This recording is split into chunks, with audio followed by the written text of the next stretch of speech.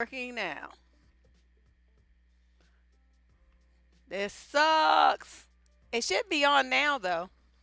I'm seeing the microphone um, moving. It wasn't moving before. The little the little jack was a little bit loose in the microphone.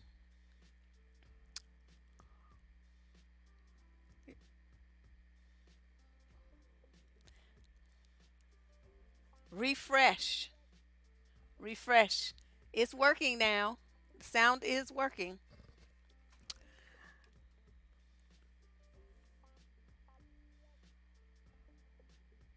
Yeah, just refresh. All right, well, we're good to go now. Yeah, the mic, the little, you know how it plugs into the computer? It was a little bit jacked to the side, so it wasn't, you know, fully connected. So I had to mash it in there. And so now it's now it's good. Thanks for letting me know so quickly so we don't waste a whole bunch of time. So everybody, welcome to the Thursday chat here on the Debsterism channel. On Thursdays, we discuss a relationship oriented topic just that one issue, one theme for the night. On Tuesdays, we do uh, relationship advice questions. But tonight, we're going to discuss a topic that, you know, it's like I've been looking at these advice letters that's coming in, right? And a lot of them, you know, we're lady boss throwing up her exes, and everybody's like, fired, get out of here, you know, all this stuff. And it's like, okay, why does this person who's in this relationship not recognize what's going on and know this shit is never gonna work. Never. Not in 500 years. It don't matter how much effort and work and how much you try to make it work and all this stuff. It's never going to happen. There are just some foundational conflicts that people have. And I mean, there's like dozens of them. Don't get me wrong. I'm just, I'm coming over. I'm going to be talking about what I think are the 12 most common that you should be able to know like right off the bat this shit is wasting my time you know and you should be like nexting this dude like with the seriousness. Of course if you're a guy these things might apply in reverse but as you know my audience is 85% women and so when i make shows it's primarily to that target market. So it's not meant to slight the guys who have been loyal supporters here as well. We got a few um, not meant to slight you at all, but you know, you got to play to the largest audience. And for me, that's women. So, what um, I wanted to do was talk about that first. Let me do a quick uh, promo. I want to remind everybody that we got Video a Day February. It's like a renamed of February coming up in just a week or so, a little bit over a week. And during the month of February, I have promised everyone that I'm going to put up a video every day of the month. So that's 28 videos about to come your way.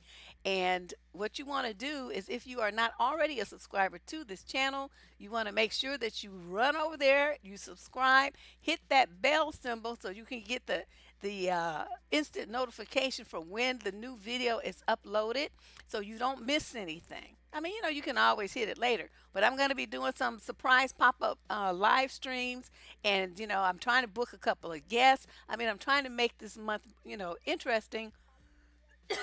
excuse me, and exciting for you.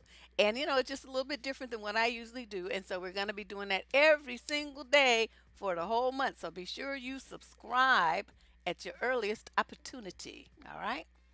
So let's see. Everybody, okay, the moderators put the little rules out there for the newbies and the people who like to get buck wild. So let's uh let's start. Now this I'm calling it the 12 bombs because they just blow up the relationship just blows up in your face some people are broadsided they act like they don't know what was you know that was coming i find that hard to believe but whatever. So let's let's let's go. Let's talk about this.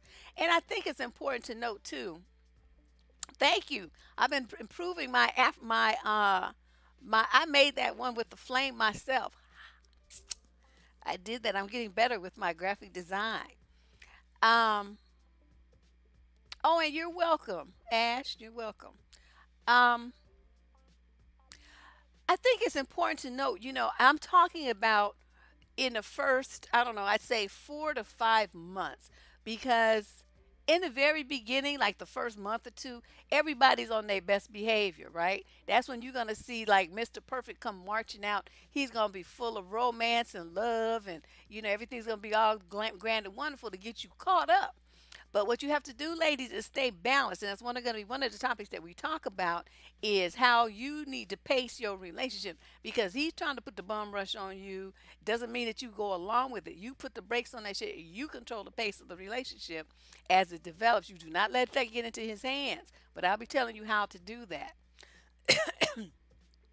And um, so this this is going to pertain to you know after that honeymoon period is over, you're going to start noticing patterns, noticing themes, noticing trends, certain types of behavior keep uh, showing themselves over and over. And I want you to pay attention to them and I want you to understand what those behaviors mean.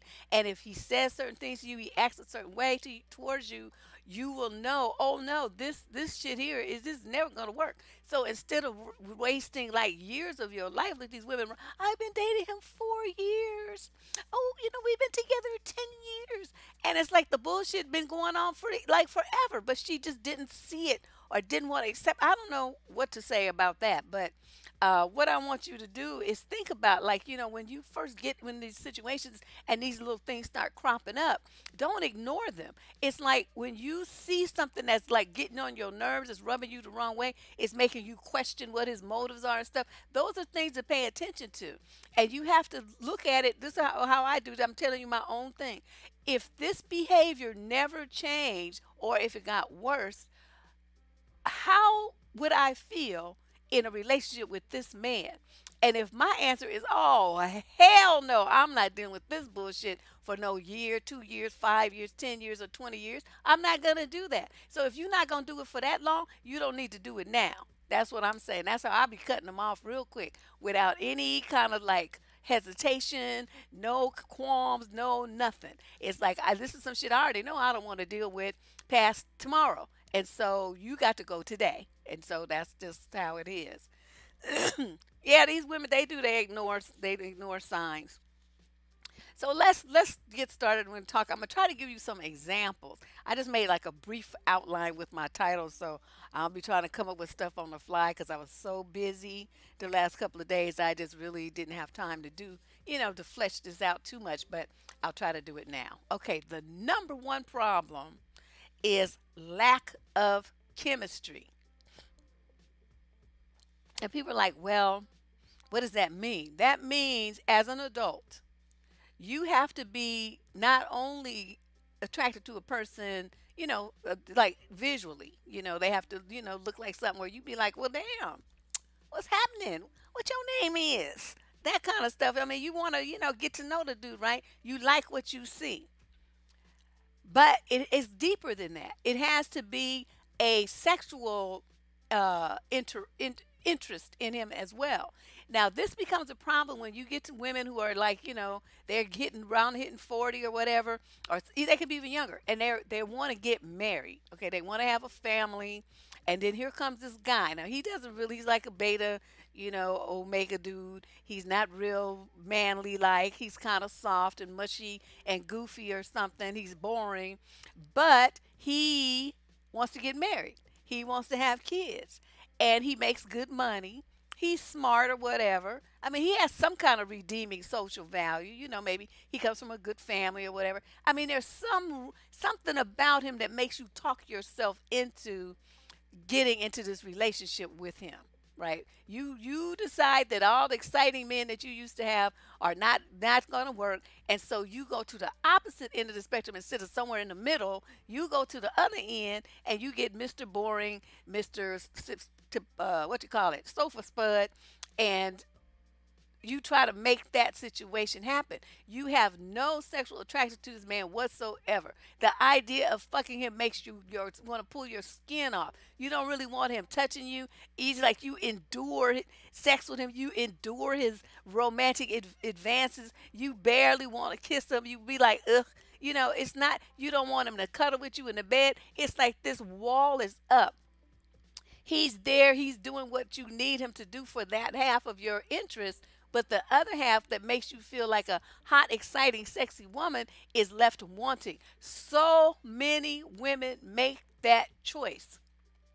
They feel like, well, this is good enough. It's not good enough. You're going to be fucking miserable, and so is he. Don't do that to yourself. If you, you know, you need to, you deserve to have it all. At least like 80% of it. I mean, you know, all men are going to get on your nerves. Please don't get it twisted. You could be so excited to see this motherfucker that you start hyperventilating. But at some point, he's going to get on your fucking nerves and you're going to want to stab him in the eye. That's just how it is. So, I mean, you could be married to him, just madly in love with him, have his kids, definitely not want to go nowhere anything like that, but you still want to cut him and that's just that's how men are. It's like they just take a class in getting on their woman's nerves or something. But you know if you can hit that 80% mark you're doing pretty good. If it's in the 90% bam. But i'm telling you well they might not be ugly. Dude might not even be ugly. But he just he just doesn't do it for you. That's all i can say. He might be a good looking guy to someone else but for you, whatever that turns you on, he doesn't do it. And I'm not saying he's ugly. I'm not saying he's misbuilt or anything. I mean, some of them really aren't, but they're just not. I mean, you know what I mean? They just don't do it for you. And I there's no real excuse for it, but a lot of women will talk themselves into that and then they suffer you know, from lack of sexual interest, and the man suffers, and it's just a big hot mess. So eventually, that's just gonna blow up in your face, as it should, because you had no business doing that shit to yourself or him either. And so, you know, don't try to talk yourself into anything. It's either there or it's not. Either he does it for you or he doesn't. You want a lot of other stuff too, don't get me wrong, but you don't sacrifice physical attraction as an adult woman in her prime sexual prime to get a man who, you know, meets those survival needs in the family thing and stuff. You're tra- doing a vicious trade off, and that you're going to be miserable. You're going to be very miserable with that. Okay, so that's number one the lack of chemistry. All right, let's do number two. I wrote down not much, if anything, in common. Now, this happens when you see people that are just so mismatched.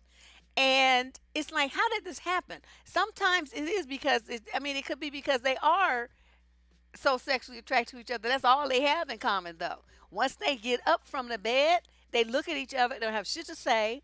They don't have any goals in common, no hobbies or interests in common. Like, you know, she might be very educated and very learned and love books and lectures and all this kind of stuff. And dude is like, you know, a TV bum. He likes to watch TV all the time and hasn't read a book since high school because he doesn't see any reason to when he could just get the stuff he can listen, you know, to podcasts or whatever. So, I mean, you know, you guys have different ideas about child raising, which is going to come up later. Um, you know you don't like the same kind of food stuff is is always a conflict of interest and, and ideas because you really have no common ground. And so when you see something like this, I mean, it might be exciting for six to eight weeks, you know, where you fuck each other's brains out or something. But at some point, you're gonna realize I can't take this motherfucker nowhere. He don't know nothing. He don't do nothing. I can't take him around my friends. Definitely not my coworkers at the law firm. What the fuck am I doing? And it's gonna just blow up. Now, you know, every woman goes through that. Men do it too. You know, everybody goes through this this phase where they get with somebody they know they shouldn't be with. But you know, the thing about that is to recognize that you shouldn't be with them. Don't be stupid getting pregnant and all that old dumb shit. Don't be doing that. Because then, you know, you be left with a baby that got an ignorant fool for a daddy and who's in the wind. Because you guys never had any kind of real solid foundation in the first place. Oh my God. Yeah. Well, I mean, you could be open to meeting different, but it has to be different within a realm of your parameters. Like, like I'm saying, okay, like say you always only want to date dudes six two and, and above. Well, your little ass is five seven. Okay, so you could date dudes five ten. They don't have to be six two or three. So that's what I'm saying. But he meets every other other things. The only thing is he's a little bit shorter than what you always focused on. That is a parameter under which you could work, and that would be different. Okay, maybe he don't have a master's degree. Maybe just has a bachelor's, but he's very successful in whatever it is he's doing. It's not like he's a bum. You know what I mean? But you always want to have like these doctors and lawyers and all this kind of stuff. And the relationships never worked out because they never really had time for you. They were too focused on being, you know, Mr. Educated and, and Mr. Mr. Man about town. So you made a more real. You want somebody who's intelligent, who reads books, you can have fun with and talk to, and have great conversations with. He's not a dummy, but does he have to be a JD? Does he have to be a PhD? to love you. You see what I mean? So there's there's different things that can be um that can be adjusted. Oh yeah, definitely common values. That's the main thing. You know, but these people I'm telling they don't really have anything in common. Nothing except fucking. That's it. They like each other because of that, but that's not enough to have a good relationship with. It's going to be a lot of conflict and unnecessary stress and strife. I, you know, that's just wasting time. I mean, it might not blow up right away, but it's going to blow up sooner or later. Some people just like to go along for the ride, and that's fine. He was boring, not laid back. well, you know, I'm really sad to say most men are boring. They really don't understand that they're boring because they're like other guys that they know and they're all boring together. And so to them, it's not unusual, you know. But if you're a woman that likes, you know, to get out and do stuff and be busy and learn and do all the stuff, and then you got somebody all he wants to do is sit around and watch TV, watch sports and, you know, Fox News or something, I'm like, later for you. Can't do it. All right, let's move on to number three. I call this one Mr. Unstable SpongeBob. Why is he SpongeBob? Or he could be Sponge Malik, Sponge Jerome, Sponge whatever. Larry, I mean, whatever. I just, you know, SpongeBob because that's the name. But this is the dude that sponges off of everybody. He's just like, the dude don't have shit. He don't want to have shit. He ain't about shit. He just lives off of other people. He might even have his own place. He just couch surfs you know, all over, just staying with one miscellaneous person for after another, a few days here, a few weeks there, you know, whatever. He house sits for somebody who's in Europe for three months. I mean, he's just like a vagabond. And just the dude is always putting a touch to somebody for $10, $10, $20, $20. A girl at my job was telling me about a guy who, um, at her job who would go around and borrow he had borrowed like 10 or 20 dollars from like dozens of people and he never paid them back and nobody knew until somehow they started talking about it and then everybody found out that they had been fleeced for $20 by dude. I mean dude was a spongebob just going around like you know getting money from people cigarettes from people whatever it was he just want to live off of some other some other people's stuff these are the dudes who always want to bum a ride, right? They want to bum a ride. They want you to drive them somewhere, but they don't never want to come out of pocket for some gas. You know, I used to have this thing on my car that said, my car don't run on friendship. Give me some money for you put in the gas tank. And that's when gas was cheap. But you know, people want to be acting all indignant. I'm like, well, then get the fuck out and catch the catch the bus. Take a cab. I don't care what you do, but if you want me to ride, yeah, I'm already chauffeuring you. So you know, I'm not gonna use my gas to show for you. You want me to drive you there, so you pay for the gas. That's one thing. Um, this is the guy who is uh, he's always flaky um, sometimes like you say you're going to go on a date right? He'll be the straight one to table i don't have no money. So then you know like if you want to go out right and you want him to you know you want him to be with you you already know you have to pay. And most likely you're to have to drive and pick him up too and then drive and drop him off after or take him to your house whatever you guys going to do. I mean these dudes are just a piece of work. They're just, just useless. They don't do shit they don't do shit, but so many women have these kind of SpongeBob motherfuckers for their boyfriends and husbands. It's just terrible. He always needs some help. He always needs some support. He always needs some encouragement. You always need to boost him up, lift him up, support him.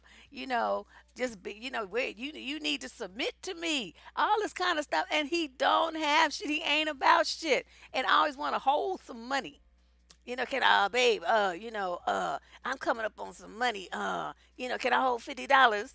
No, you can't hold my money. You can hold fifty dollars of somebody else's money, but not this one. You know that kind of stuff. I mean, I, this might not be the best example, but I think you guys understand what I'm talking about. You know, we all got the people that we know. Sometimes it's a relative who is a SpongeBob. He go around, yeah, cuz, uh, you know, let me let me hit let me let me hit you up for ten dollars. Let me borrow ten dollars. Yeah, I need five dollars. I, you know, I, I'm I'm a little short. Can I can I get that twenty, man? Can I get that twenty? Oh my God. So uh, y'all need to recognize if you got somebody like that in your world, trying to just always come up on your dime. And a lot of women don't, you know, they don't mind. They feel like, oh, you know, we're in a relationship. You know, I should help him. That's my man. I, we're partners. We're this and that. So they end up giving him money and all this kind of stuff. I'm like, nah, nah, sponge. You you can't. You no, that ain't happening.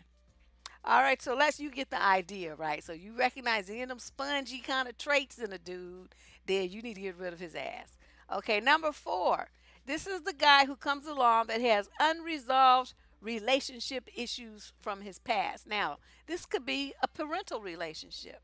But it's usually about some bitch. Okay, so he want to talk about the bitch. He want to be explaining about the bitch. He want to be texting the bitch, calling the bitch. You know, just having all this conversation about what she did to him and how trifling she is, and she's so raggedy. She ain't shit. She this. She that. She that. Okay, and I told you guys before when a man is talking about a woman to you He's talking to you about some other broad. He's thinking about that other broad. So you in a situation with a man who's got his heart and his mind and shit wrapped up in some other broad. There's nothing for you there. Nothing. Nothing.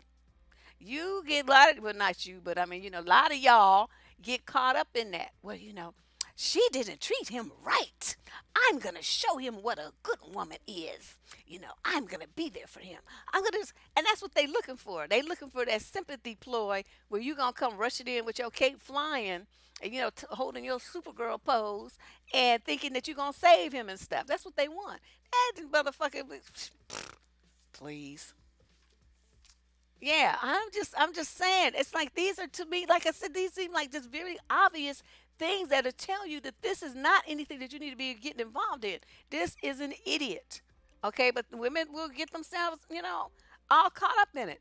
And you know, when you guys when you have a man who is still like embroiled in conflict, like, you know, maybe they're going through a divorce or they already divorced, there's still animosity on it. You know, she left me, she cheated, he cheated. I mean, there's some emotions flying around between these two people. It's not resolved yet. What you have is a man who is emotionally unavailable. So you like, you know, I love him, but I love him though. Why? You need to love yourself because he don't love you. He loves that other bitch, the one he keep talking about and texting and fighting with. That's who's got his attention. That's who got his heart. Because you know, the opposite of love is not hate, it's indifference. And when you got somebody that still got all them emotions stirred up about somebody else in a relationship that's supposed to be over, he's not he that that's still he's still involved there. His heart's still involved there. It's when your heart's not involved and somebody talk about your ex, all you do is roll your eyes and say, okay, well, yeah, anyway, and then you move on to the next topic because you don't want to even discuss it. You're not in that space anymore.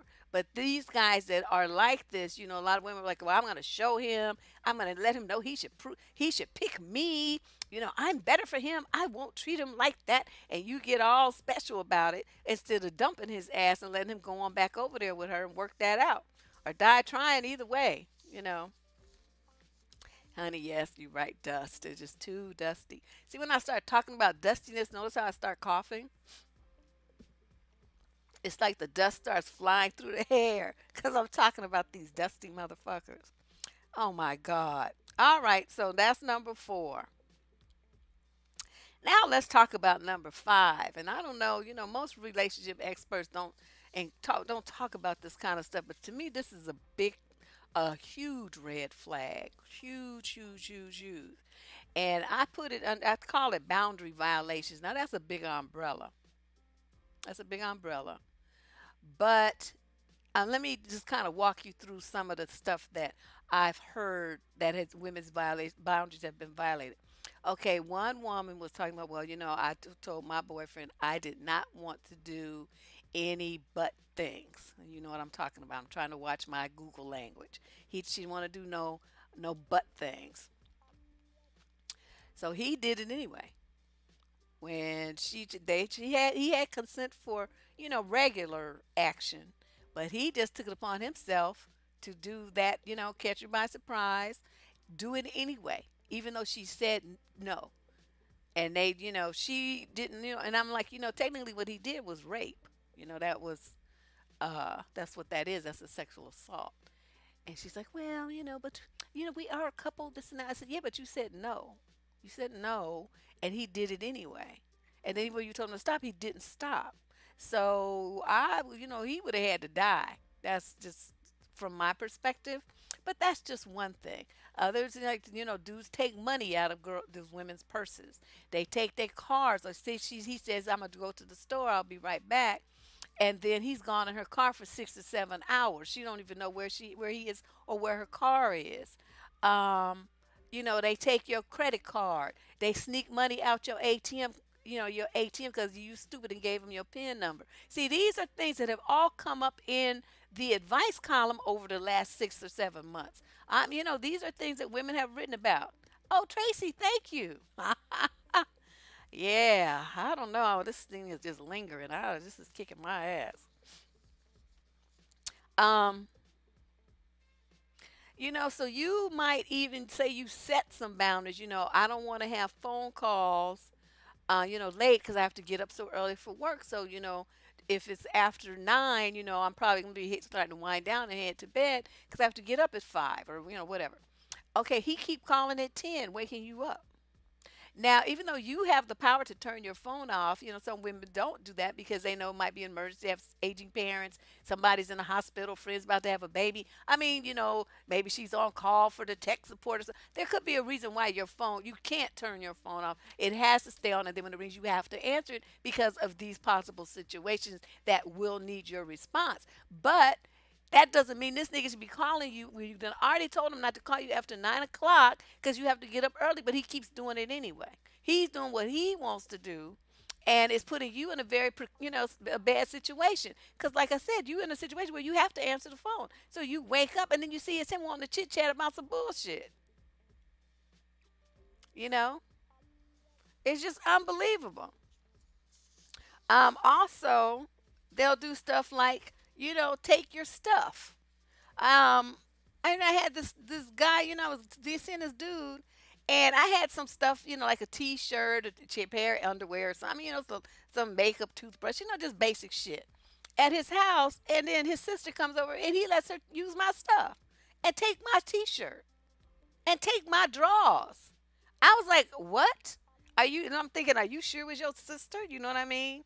I didn't believe that shit, but I'm just telling you what he said. And uh, I'm like, hmm. So that was the end of that. See, that's a violence. That's my shit. You're not supposed to let some other broad use my shit.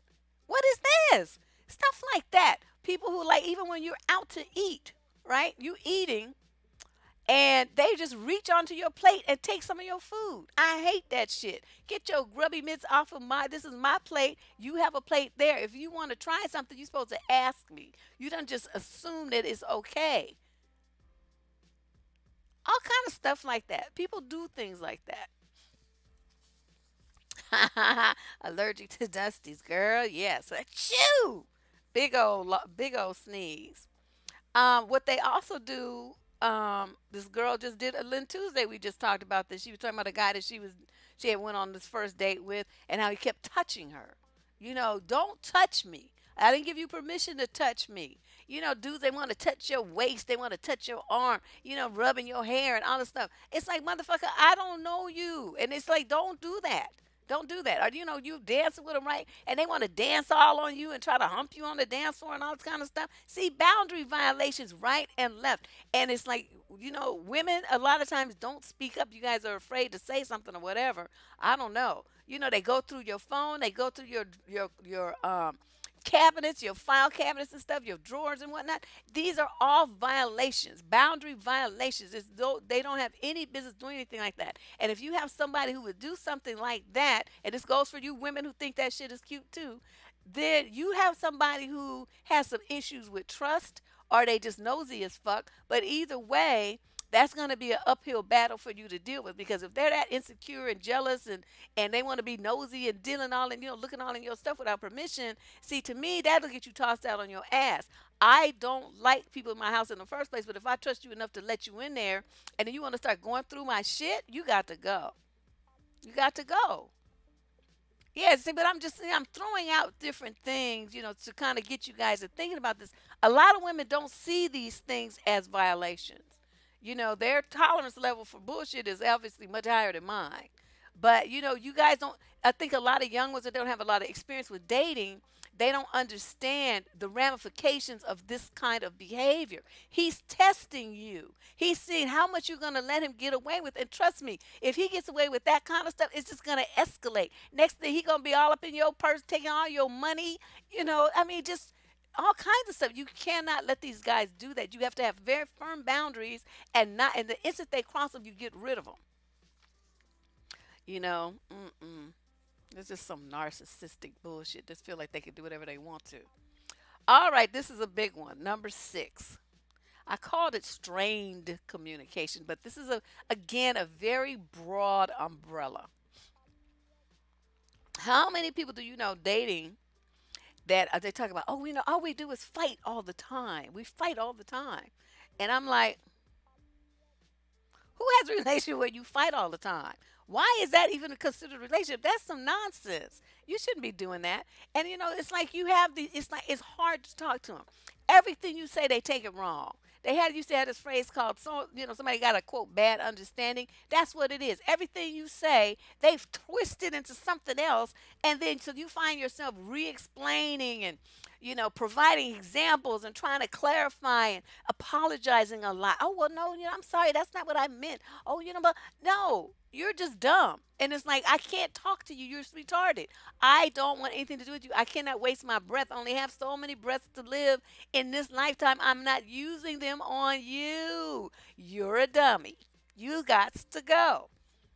You know, and then another thing they like to do too is okay, people will have disagreements as couples. That's just, you know, that happens.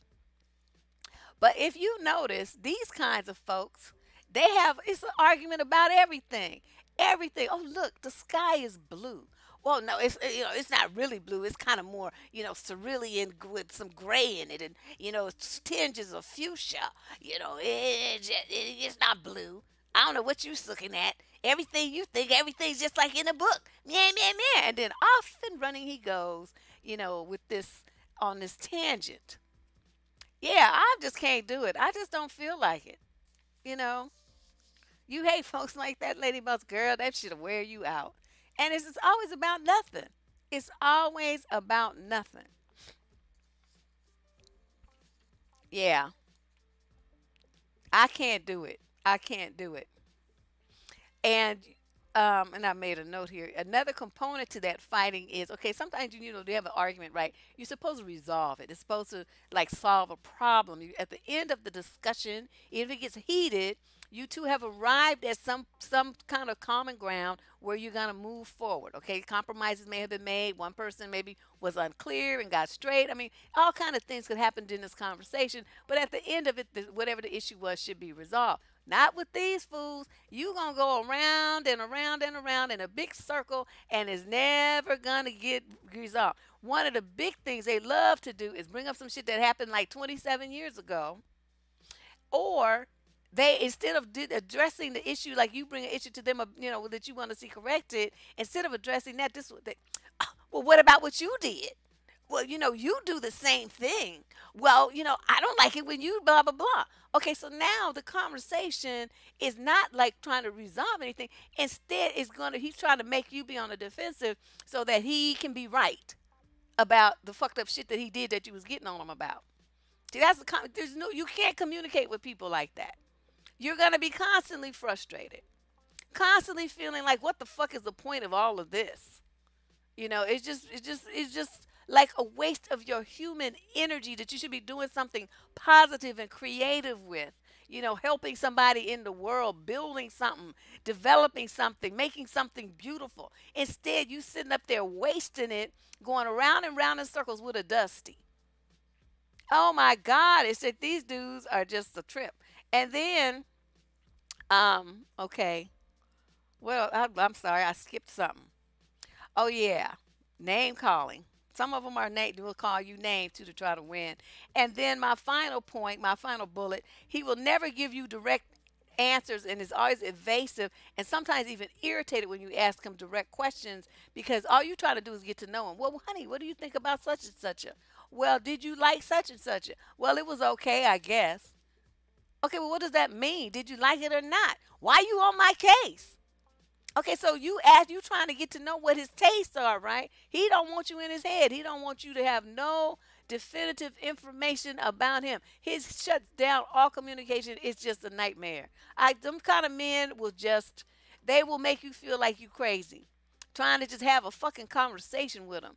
It's like pulling teeth. It's like it's just unbelievable. I can't do it. I've seen a lot of women in relationship with men like that, and I just be looking at them.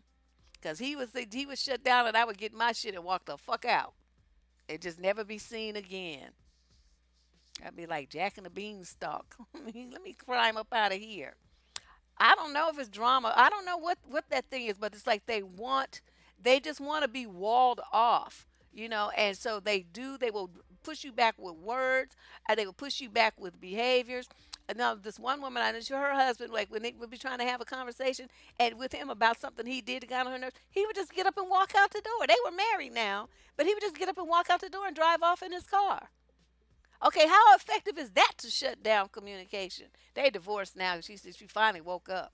But I'm like, you know, these are the kind of things that you ladies need to watch out for. These are super red flags of incompatibility and bad choices in a partner.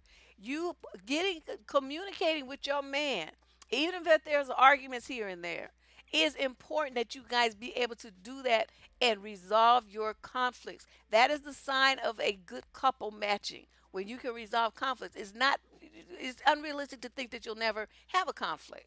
You're going to have one, but you know it's how you come to the conclusion, what you do about it, rather that makes all the difference. I'm telling you, I don't like that. I don't them people, man. That's that pulling teeth shit. I'm exhausted just talking about this. Now, that was um number six. Now here's number seven. In this grouping are lies, disrespect, and broken promises because broken promises are both disrespectful and they lied to you because they said they was going to do something and then they didn't do it. So I just kind of grouped them all together, right? Now, I think this is important because a lot of women, you know, like to do the flake on them, right? And they just they just blow it off. My thing is this: if you have some motherfucker that you can't trust to come through, and with the stuff he says he's going to do, please explain to me how you think that you can expect to be have fidelity and commitment with a man like that. He has no integrity, he has no sense of honor at all. He just says anything and then does what the fuck he pleases, just leave people hanging.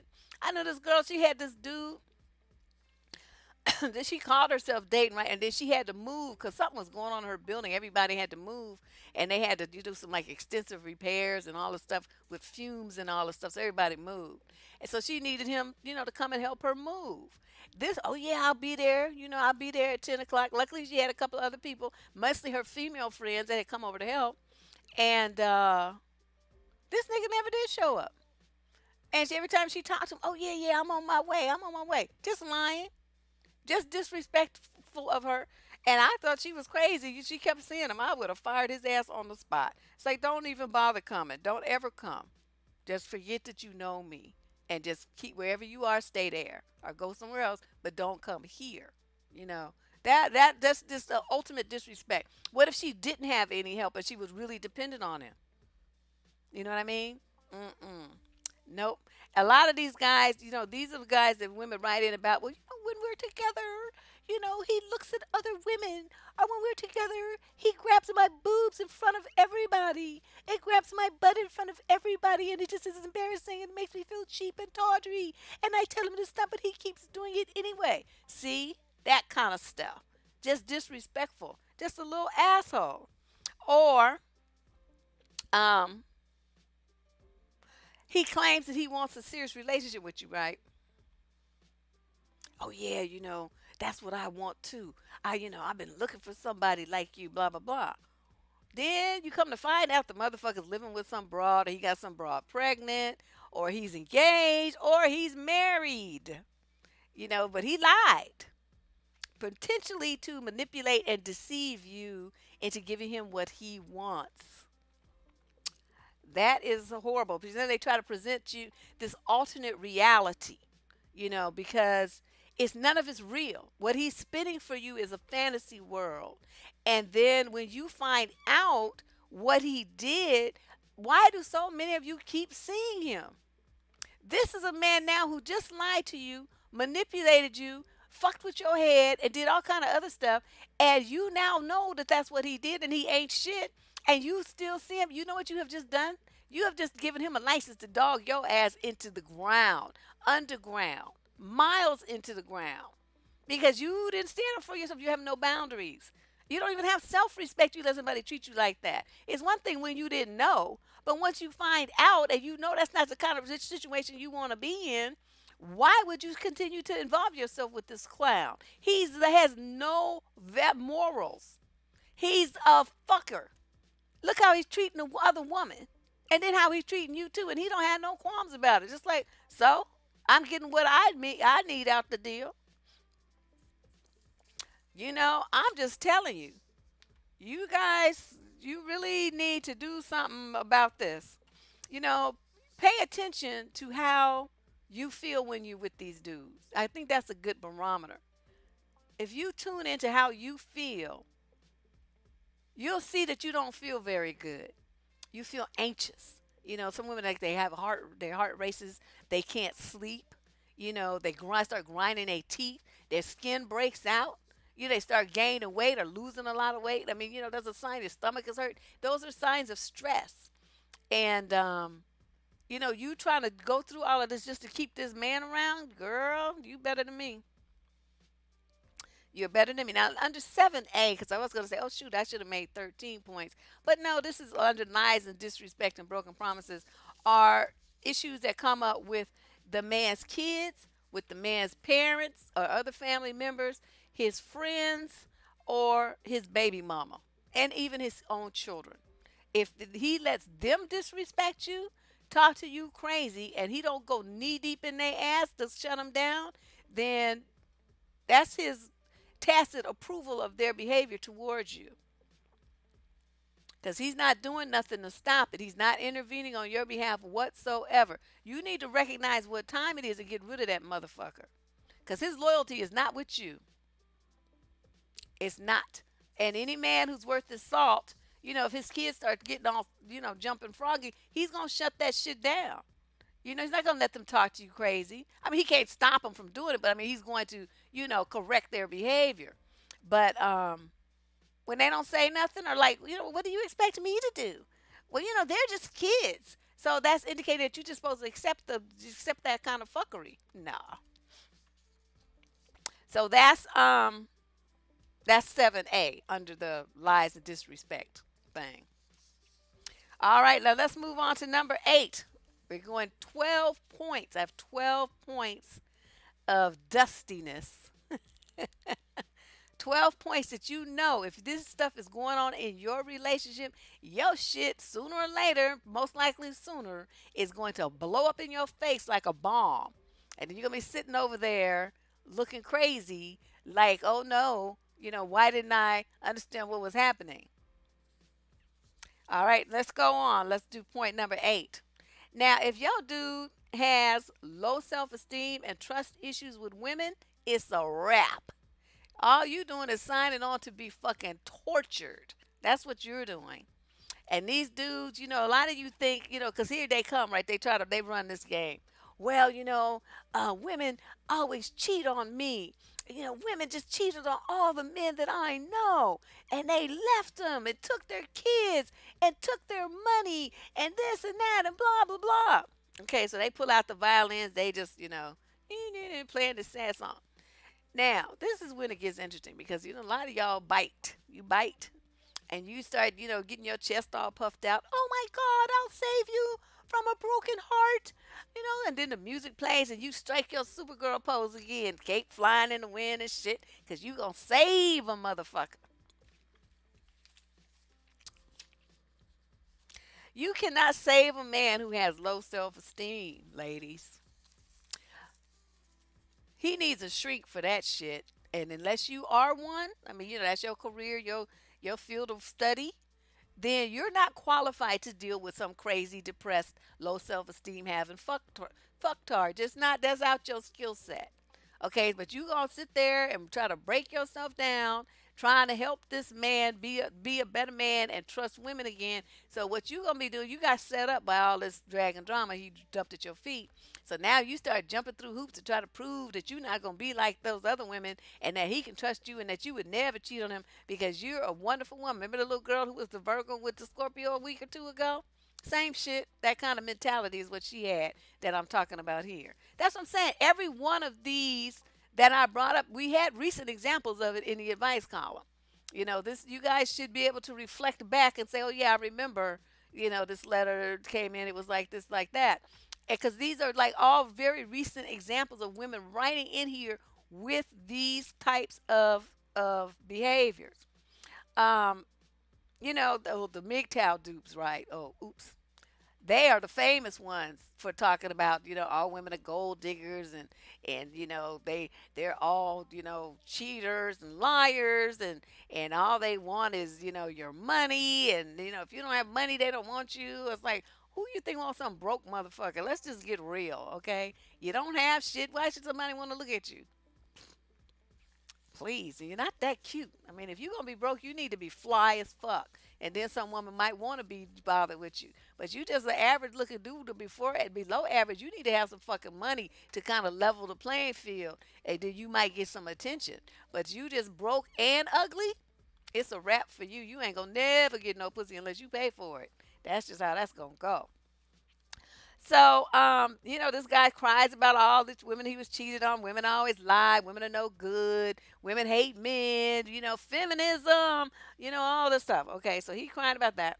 And then, if it's any topic that has to do with women, you will notice he gets extremely angry. Okay, it's like a fuse gets lit. He starts going off on a tangent, talking about you all, you women, this, blah, blah, blah. So once you hear something like that, you hear something like somebody talking about all you women and it's with a negative thing like that, you need to leave him alone because he's crazy. He's crazy. There's a problem there. Some of these dudes, um, even like they had them videos on like that crazy WorldStar site where men be beating on women and you know all the stuff be going on women be in fights and stuff trying to get away and they love that shit. Oh, they just go crazy. They love. They can't get enough of violence towards women. It just makes them excited. They love that shit. Just love it. It's like he may not do it himself, but he can live vicariously by watching other men do it, which is why men don't intervene when they see something going on, like what happened in that nightclub in Atlanta last weekend. Which I'm not, you know, I didn't see the video people were telling me about. I don't want to see it. But um, yeah, they all over YouTube, just about a million seem like, just just like roaches just coming out the dark, slithering up the wall, just little just disgusting creepies. I don't know, but what these dudes do, you know, so, so they first they get you in with the pity, right? And then they start attacking you because they can't let you think that you're better than he is or you are better than those other women. So they're going to start pointing out your flaws. They're going to start putting you down, belittling you, making you feel small and insignificant and like you're useless and ugly and no man, whoever man would want you. They are doing that because they are afraid of losing you. They want to keep you in a weakened position because then that makes them feel like they have more control and then he doesn't have to be so jealous and so insecure and, you know, his confidence so shaken and why would she want me? You know, why is she with me? You know, I don't think I'm good enough. That's what he's really thinking, but he's not going to communicate that. So what he does is he puts you down to try to make you feel less and smaller than what he feels about himself. And I'm like, shit. You know, they're to pick at your hair. They're to pick at your weight. Sometimes they even make stuff like you're eating, right? You know, you're eating. Oh, you're to eat that?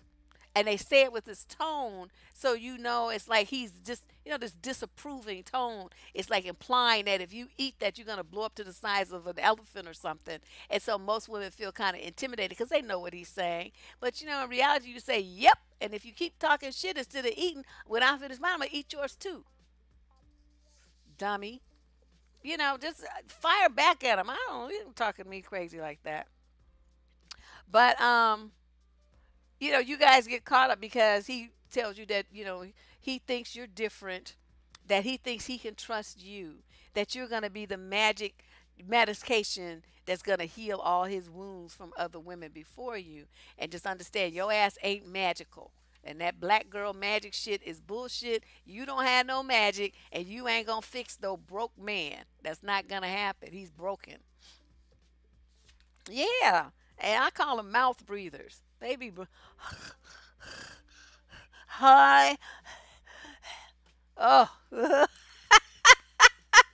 oh no, no, no, no, son. Can't do it. Can't do it. And they just too fucked up for me. I can't. Mm-mm. All right, let me go on to number nine. Number nine. I could okay. I was in a mood. Okay. Houdini and David Copperfield don't have shit on this magical disappearing act motherfucker. Okay, this boy can disappear in a puff of smoke and nobody knows where this nigga is. Where is he? Where he be at? You call him, you text him, he just MIA. You don't know where he is. He never told you where he was going. And then, you know, he just like drops off the map. You may have been having some really good time with him, you know, really good and then suddenly he just disappears and gone for a couple of days, a week, sometimes longer than that. Just no explanation, just like go like ghosted. He just ghosted you, but then he magically, like you know, they do in the magic box where they open it and the person disappears, and then he waves the wand, and then magically the person's back in the box. That's how he does. So then you, you know, he waves and then he back in the box, and you're like, oh, well, where did you go? And all astonished because it was like a magic trick. He disappeared before your very eyes and then he was there again, right? And so y'all take him back. Fraggle Rocko, no. Somebody in the Wayback Machine. You know, but it's like, I don't know, you don't, and then it's like they have like this secret undercover life, you know. You don't really know where he lives. Oh, you know, I stay over there on, on West 59th. Okay, and some of these girls be writing in, you're talking about, well, you know, I don't really know his real name. Uh, they know his street name, you know, J Rod, you know, Pooh Bear, you know, Mickey. That ain't his real name. Mickey Mouse, you know, Mickey for short for Mickey Mouse because he got big ears or something. But it's like, that's his street name. That's not his real name. And here you are laying up with the motherfucker and pregnant by him. And you know, you're to write on the birth certificate Mickey and J Dog? No. You shouldn't do that. This is just terrible.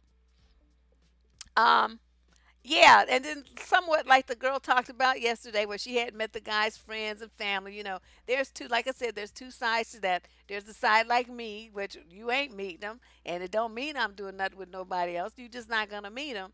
And then there's the other part where the people have something to hide, which might be a family, a wife, a girlfriend, um, a trans lover. I mean, who knows what they behind? You know what I mean? But that's why you can't meet anything, uh, you know, anybody close to them because they don't want any of the truths accidentally being spoken to you because they trying to keep you in a certain box in their life and you can't get out. You in this one envelope and that's as far out as you getting. So you have to decide, you know, is this the kind of relationship that you want? If it's not, then you just move on. That's that's all it is. Yeah, these dudes be, be secretive like uh like an Interpol agent. just like he's just like just he just is secretive. Or you know, sometimes they say, well, you know, I have, you know, you say, oh, do you have any children? Yeah, I got, you know, two. Do you have pictures? Nah. You have no pictures of your kids? Nah. I barely see them. You know, they, mama, this and that. You know, she won't let me see them. But see, again, that's because he doesn't want you in his life that deep. I'm like, mm, okay. But yeah, that disappearing act, that's the biggest one. They just disappear and then you you know, you guys take them back. And I'm like, "Why would you do that?" Somebody who just so callously disappears, just drops off the map like he fell off a cliff or something. Just now he's there, now he's not. David Copperfield magic. A street name called Dump. Yike. That's not good. Oh, all right. They'll straighten up until they get thirsty again. I don't know. These chicks don't be really straightening up from what I could see until until they get older and then they realize, you know, how dumb they were, but it's too late by then. Some of them got two or three kids by then. It's just really sad. I mean, like I said, it's fine, you know, you want to deal with, you know, I mean, any woman who wants to deal with have her experience her full range of sexuality and do some stuff she knows she's not supposed to do with somebody she knows she's not supposed to do with, protect yourself. Strap, wrap strap that shit up and uh, you know, do make sure your birth control game is tight. That's how you do that. And to be smart, you do not go having babies by miscellaneous, stray, magical disappearing fools. You don't do that. All right, number 10. These are women who are starved for intimacy. Now, I don't mean sex, okay? Because you know, as a woman, we can get that anywhere, anytime. It may not be good, but we can still get it if that's really all you want. But I'm talking about like that emotional connection to a man where you could tell him anything, he could tell you anything. You guys understand each other on a deep level. You know, there's like out of bed affection and what they call them public displays, PDAs, you know, hand holding, little kisses, you know, just random little hugs, you know, walks in the park where you holding hands and whisper sweet nothings to each other, where you cuddle in bed and stuff. But this dude, instead of cuddling in bed, you know, you reach for him, you want to cuddle with him, right? He rolls over and says, You're too hot. You make him too hot. Or, you know, you try to hold his hand, he puts his hands in his pocket. You trying to give him a kiss, he's pushing you out the way because he's trying to see the TV. That's more important than, you know, taking 10 seconds to connect with his woman with a little kiss, a little hanky panky. And these dudes will tend to be so, I mean, the wall is up so fierce that sometimes, you know, like you might want to go on a date with him, you want to spend time with him and stuff like that. He's busy all the time. So you always have to, he don't want to plan nothing. Everything has to be last minute because he can't possibly plan anything because that would interfere with what fun that might come down the pike with his friends or his miscellaneous whatever road dogs. So he's not going to plan anything with you. But if he happens to have some time free when you call and nobody else is called, then he'll do it. That's the game they like to play. So they're not really trying to, you know, establish anything with you. You're just something to do. And a lot of women don't understand. So they end up in this what they call a relationship, but it's more like a situationship where they're doing everything to try to keep the relationship going. They do most of the calling, all the calling. He just calls when he wants something, and you know what I'm talking about. Um, they set up all the dates. Usually, have to pay for the dates. They invite him over. They're cooking for him. You know, they're doing all the stuff for this dude to try to keep him in contact with them and keep him around. And he's not doing shit. He's not doing anything. And it's like finally, you know, it's like after months of that struggle of, you know, she finally gets a clue and wakes up and then she's done with him. But I mean, look at all that money and time and energy you wasted on a man who was never, ever giving you in the kind of relationship you wanted. Not one day did he do it. It was you chasing him the whole time trying to get him to commit to you and to be your boyfriend and to spend time with you. And it's like you're just begging him to, to, to spend time with you and, and to try to get connected to him and he's just putting up walls right and left. He's like like kung fu. Wah, wah, wah, wah. he's not trying to be with you like that you know? He's not trying to do it. Uh okay. Oh i see what i wrote. God my um my writing's so bad. So basically what you end up with you know this guy puts you in a position where you're feeling needy and insecure and unsure, you know, what's going on and and you know, depression gets mixed up in there, anxiety and all the stuff because you're trying to make something happen that's you know, he's blocking it at every turn. And a lot of these women get confused about these kind of men because he may some parts of the relationship may actually be really good. You know what I mean? But the parts that's bad leave you hurting. So you're in a lot of pain, emotional pain, and feeling really neglected and all of this stuff. So you, like I said, you got to tune into how you feel. How do you feel? And if you're not feeling good about the relationship, you know, you you feel like you know lonely and you're crying and whatnot, then um, it's kind of it's kind of a problem. What's Lady Boss in there saying? She is so crazy. She's timed out for 120 seconds. It'll do that if you type too many comments too fast. All right, so that's number 10. Start for intimacy. Intimacy. Hugs, kisses, romance, conversation. That's the kind of intimacy I was talking about. All right, let's move on to number 11. Now, these kind of guys, they just come in the door like gangbusters, okay? One of the ladies talked about this in her letter the other day, how the dude was just like calling her and he was just all over her. And I went out with a dude one time was like that. We were just supposed to meet for drinks, right? And you know, uh, so he wanted to extend it to dinner. Okay, that's fine. I was a little hungry. So we ate a little light dinner. And then he, you know, I said, well, I, you know, I need to go have some things I need to do. It was, you know, nice spending his time with you and this and that. So he's like, "Oh, you know, can I call you again?" I'm like, "Yeah, you know, why not?" He was okay. I didn't feel no like major sparks, but I didn't feel disgust either. So for me, that's good. So I go to the gas station and I make it to my house. Now my house was about two miles away from where we met. So you know, it didn't take me no time to, to go. But he had to drive all the way to San Jose, which is like 60 miles away. So he calls me. Now I had just spent what was supposed to be a quick drink, like 30 minutes. I had just spent like two hours with this guy because we extended to dinner. Okay, I had shit to do that night, and that's all. I didn't want to spend any more time dealing with this dude. He was nice and all, but you know what I mean? I'd already given you like four times as much time as I had originally planned to. I, I need to be busy now. So he calls me, and I pick up the phone, and it's him. I'm like, I'm thinking, okay, didn't I just talk to you? And he's like, well, you know, you, I enjoyed it so much. I just want to keep talking to you and this and that. And he got mad because I told him I couldn't talk to him, and he, I had to hang up now. He got mad. But you know how my, I am with my boundaries? I had very firm boundaries. My boundary meant I was about to do this other thing here, and you wasn't going to stop me. So, you know, he was highly insulted and thought I didn't like him and all the stuff. It's like, no, that's not it. It's like, you know, you had a chance, but now you're fucking it up because now you should have been gracious and just said, you know, I'm sorry. I, you know, I just really, uh, I guess I got a little over eager. How about I call you tomorrow? Something like that. He could have saved himself. But instead, he wanted to argue with me about why I should not do what I need to do to talk to him, which is what he wanted me to do. And so then he became every kind of motherfucker, and I hung up the phone. And then that was that. So, you know, I'm like, these dudes just be doing too much.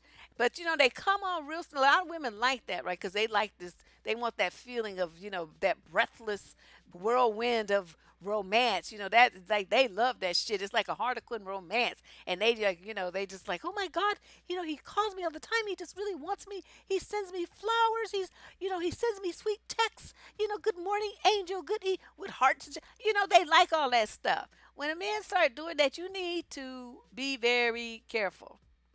Okay? Because what he's trying to do is get you involved with him emotionally and physically. And you, you know what I'm talking about. Before you really find out that he's such a fucking bullshit artist. That's what he's trying to do. So they try to get you wrapped up and caught up before they let the pull off that you know sheepskin and that wolf jumps out. So then, as most women, know, by the time that happens, and oh, but I love him though. That's what he's trying to do, trying to get you all caught up. And um, a lot of people call this um, the new term is I call it putting a mash on you, but people call it love bombing, which is I don't know who thought that term up, but I don't like that term, and I'll tell you why.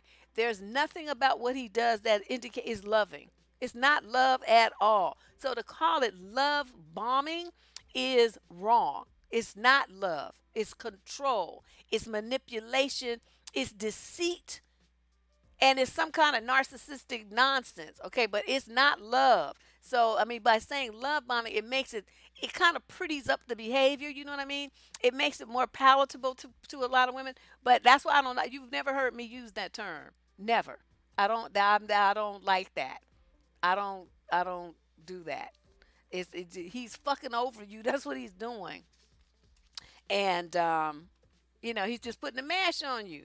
That's all it is. He's trying to you know press you into a situation so that you don't feel that you feel like you don't really have any control and you know you think all this flatter flattery he's giving you and all these you know tokens of affection and all this stuff is um you know it's meaningful it means something serious is jumping off. But all he's really trying to do is present himself as mr wonderful and mr perfect so that you will develop you know attach yourself to him in which case he will have open season on you. That's all it is. He'll be able to move in. He'll be able to you know get some money from you to help him start a business. All this stuff because you got all in your emotions and didn't use your brain to see what was really behind all these magic tricks dude was doing.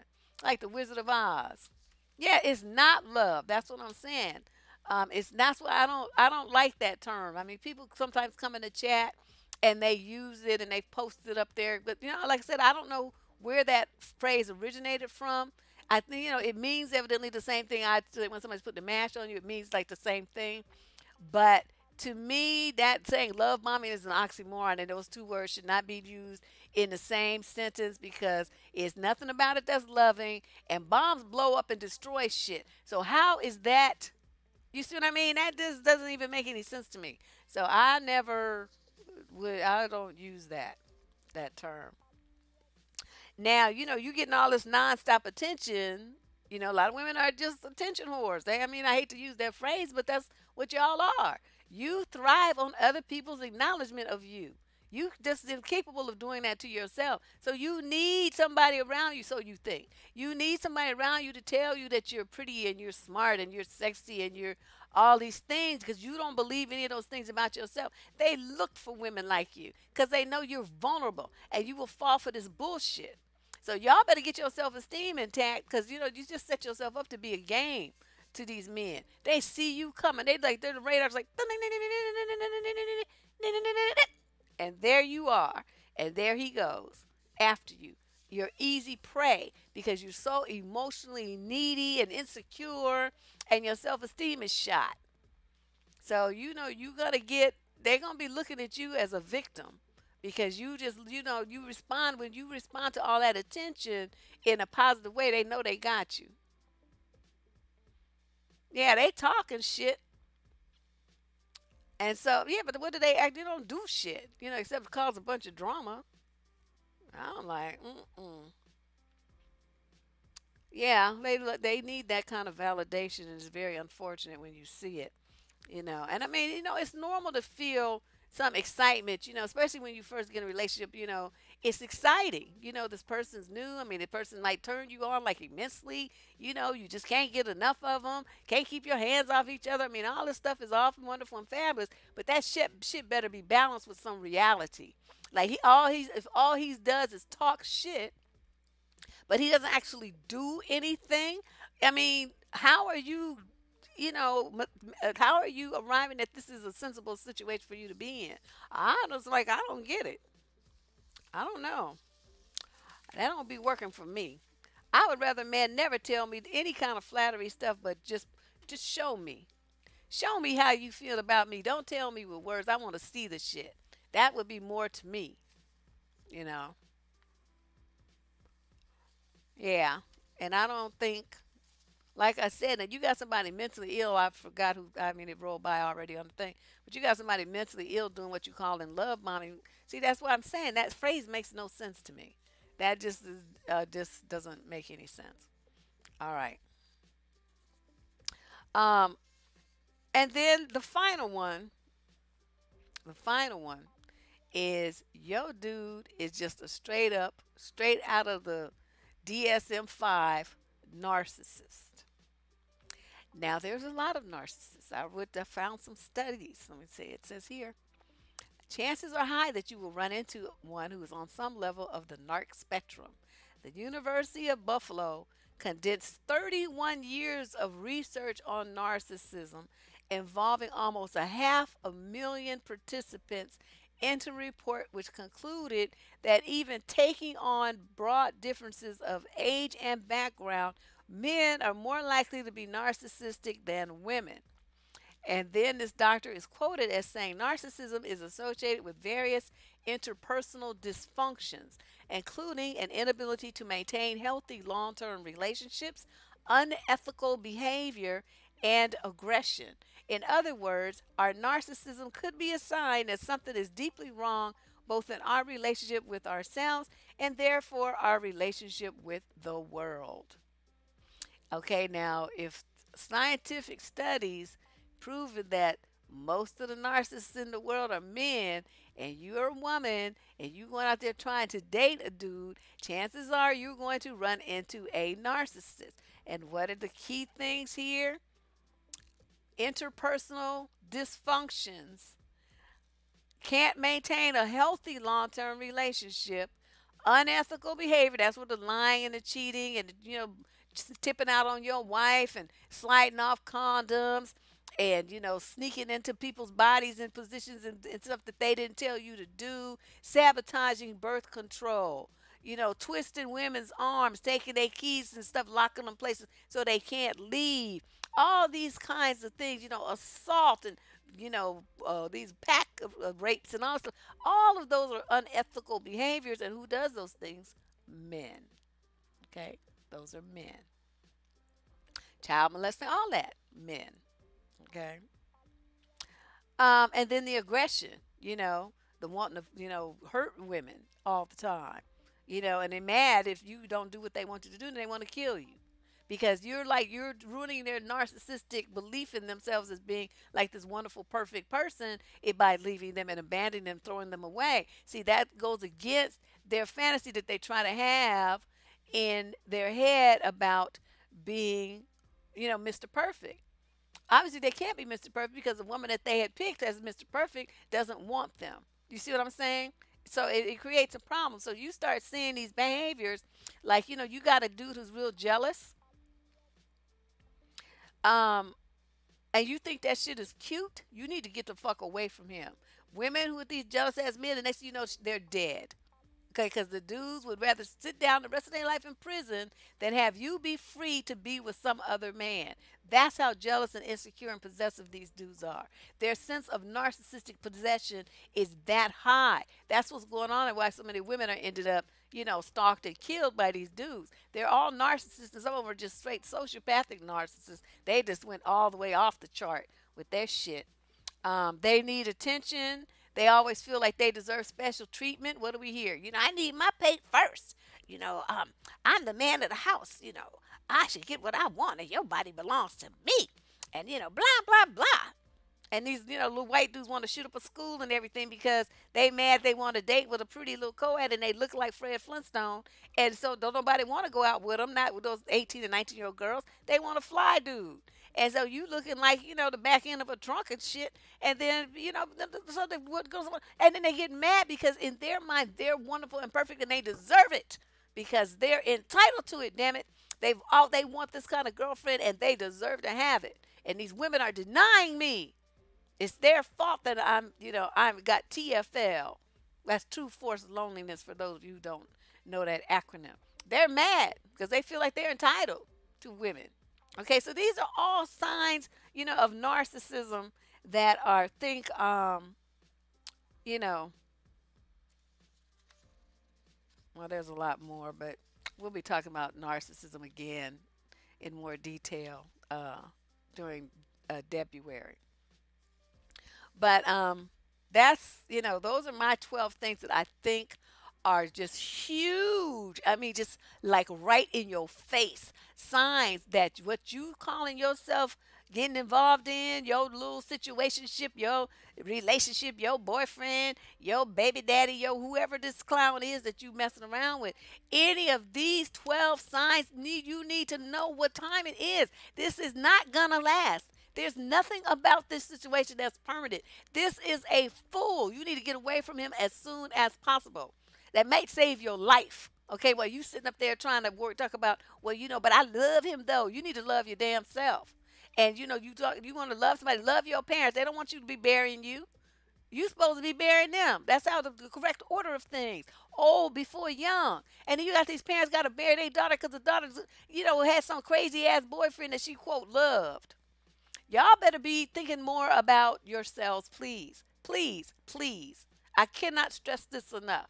So if you guys thought more about yourselves, 90% of the bullshit situation that you get into, you wouldn't be in them. I mean, there's always going to be them 10% like you won't even know them, right? And they decide that they like you, like they live down the block or whatever, and then they become a stalker. Okay, there's nothing you can do about it. Some guy who works on the third floor, you work on the fifth, and he sees you and he decides, you know, I mean, those things do happen. You know what I mean?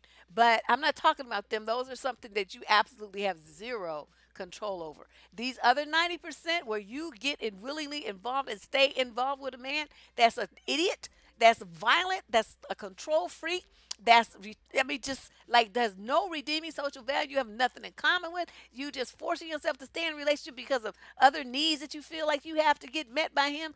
All of these things are signs that you need to leave that man alone this shit is just crazy. And then you know you spend years and years and some some women decades of their life in these situations trying to figure out what is wrong and why the relationship is just stupid until they finally just realize it blew up a long time ago and you just living there breathing up dust. That's all you doing. Atomic dust. Yes, it has to be self-love. Oh my God. I think really that's you know that's the the crux of the problem. It's there's just not women just don't love themselves enough. They think men are more important that you know men are better. I don't know what y'all be thinking because i feel like there's not a man that's been born yet including jesus christ himself that is better than deb it just hasn't happened. So that's me. I love me. And i am not ever gonna put myself in a situation with some dustmonger and you know worrying about his ass. I don't think so no, not happening. Yeah, abort mission, abort, abort, divest, flee, X is up. I mean, you know, danger, Will Robinson. Whatever you way you want to get the message to yourself, you just, you know, these are the 12 things that, like I said, these to me are just so fucking obvious so, I mean, you don't even have to really think about it. Just pay attention. Now that they have been set out for you, if you need to go back and listen to this video and make notes, put these 12 things in your wallet, in your phone. I mean, whatever you're going to do, whatever you can do, so that it stays in your mind, especially if you're out here dating. You need to have this shit fresh in your mind so that when it happens, you recognize it for what it is, and then you can just tell the dude, you know, I don't think this is going to work out. This is not going to work out. You know, we don't really have anything in common. You know, what, whatever way you want to put it. But you got to be brave enough to do that, ladies, and not just drift along from relationship to relationship because you don't want to be by yourself. You better be by yourself because you don't want to be not by yourself in a graveyard there some damn where with thousands of other dead people. So, you know, you don't be worried about I'll be by myself. You're never by yourself anyway. I'm trying to tell you so um, that is our topic for today, everyone. My 12 signs of of a bomb about to go off in your life. You keep fucking with these crazy men. You know, these dudes are just special. Like I said, I'm sure there's you know there's plenty of others I could have mentioned, but I'm trying to you know I was trying to keep it short and punchy. And so, you know, I made pretty large umbrellas which covered, you know, a lot of of uh, of ground under each, you know, each of the 12 points. And uh, I think that this should be a good start. 12 minimum boundaries a woman should have. Um, I have two videos up on the channel, Rachel, about boundaries. You know, there's like 500 more, but this is like number 506 or 7 or something like that now. Um, just go to the videos page and in the search bar up there, type in um, boundaries. And I, th I think there's three that'll come up like right off the top, maybe more. But listen to those, and I give you guys some good step by step ideas on establishing boundaries and um, and being you know very firm about them when you're out here dating and even at work. You know, in any interaction with your own family, your kids. I mean, women just need to have more boundaries, and uh, that would make me happy. I think you guys would be a lot happier too. If you have any ideas for topics, because I'm still taking ideas for February, the calendar is not complete yet, but you know, we're working on it. You can email those to survivingdating at gmail.com. Email your ideas. Let me write that in here. This little snap thing.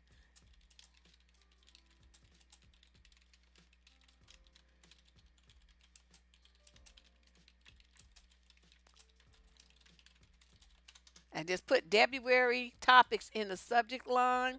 And so I have a folder for all of those emails, and then it will be filtered into that folder because I get so many emails, honey. You made I may not never see it. So uh, you hope you guys really do that. Put February, something about February in the subject line so it will go to the right place, and then I could just go in there and pull everybody's ideas. All right. And uh, but I will see you. Um, you know, on the weekend for sure. I will be back on the weekend and uh, come up with something. We'll probably have a live stream on either Saturday or Sunday, and uh, and then we're gonna start grinding down. I'm gonna slow down next week because then I gotta start with the February videos, and so I'm about to. You know, I gotta rest up. I need to eat my Cheerios and shit. I'll see you guys then on the weekend. You guys go out have a good time, and thanks for coming. Bye bye.